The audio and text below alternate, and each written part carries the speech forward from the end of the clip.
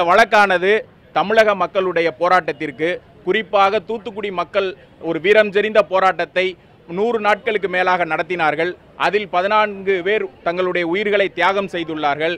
இந்த ஒட்டுமொத்த விஷயத்திற்கும் இன்று ஒரு முத்தாய்ப்பாக சென்னை உயர்நீதிமன்றமானது தமிழக அரசு ஸ்டெர்லைட் ஆலையை நிரந்தரமாக மூடுவதற்கு பிறப்பித்த அரசாணையையும் மாசு கட்டுப்பாட்டு வாரியம் ஸ்டெர்லைட் ஆலையை மூடுவதற்கு பிறப்பித்த உத்தரவுகளையும் சரியானது என்று கூறி பொதுமக்களுடைய அந்த நலனின் அடிப்படையில் சுற்றுச்சூழலினுடைய அந்த நலனின் அடிப்படையில் இன்று வேதாந்தா நிறுவனத்தின் அனைத்து வழக்குகளையும் தள்ளுபடி செய்துள்ளார்கள்.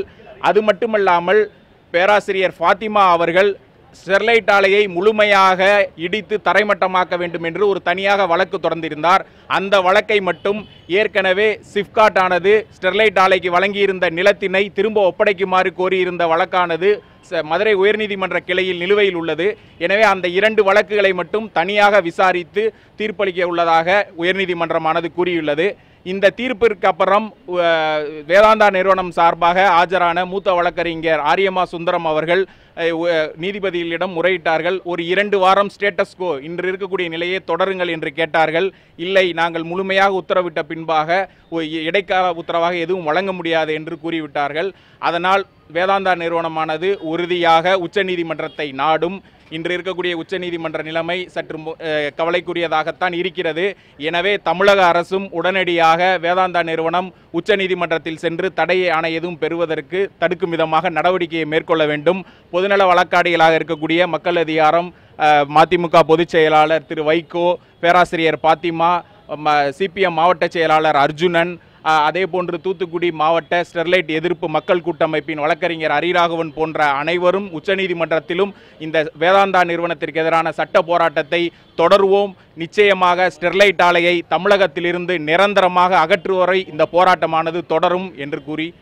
விடைபெறுகிறேன்.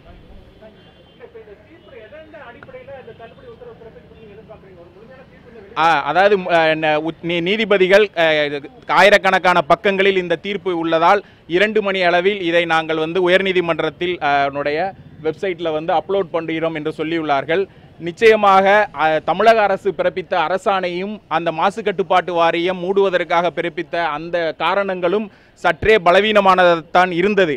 இருந்த போதிலும் பொதுநல வழக்காடிகள் சார்பாகவும் பின்பு மாசு கட்டுப்பாட்டு வாரியமும் நிலத்தடி நீர் மற்றும் காற்று மாசு தொடர்பாக விரிவான ஆதாரங்களை முன்வைத்து வாதிட்டதனாலும் இந்த போராட்டத்தினுடைய நியாயங்களை வந்து உ- உயர்நீதிமன்றம் வந்து அந்த விஷயத்தையும் தொடர்ச்சியாக புரிந்து கொண்டதின் அடிப்படையிலும் தான் இந்த முழுமையான நிரந்தரமாக மூடுவதற்கான உத்தரவை உயர்நீதிமன்றம் பிறப்பித்திருப்பதாக நம்புகிறோம். முழுமையான தீர்ப்பு கிடைத்த பின்பாக விரிவான வகையில் என்னென்ன காரணங்கள் என்பதை நிச்சயமாக நாம் அனைவரும் அறிந்து கொள்ள முடியும்.